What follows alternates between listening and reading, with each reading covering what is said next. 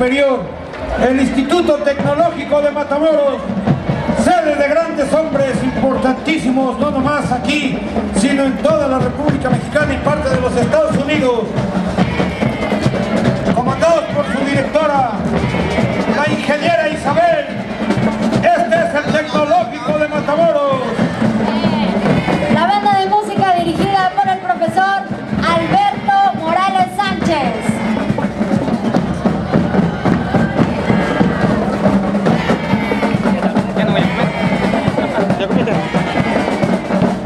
Además contaremos también con la participación de la banda del Instituto Tecnológico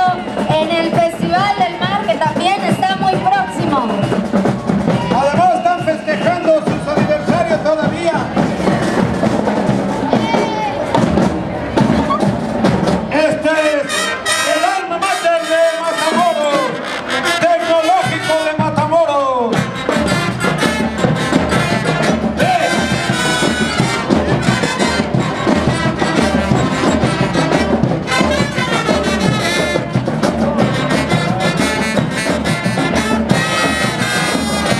avanzando, avanzando la banda del tecnológico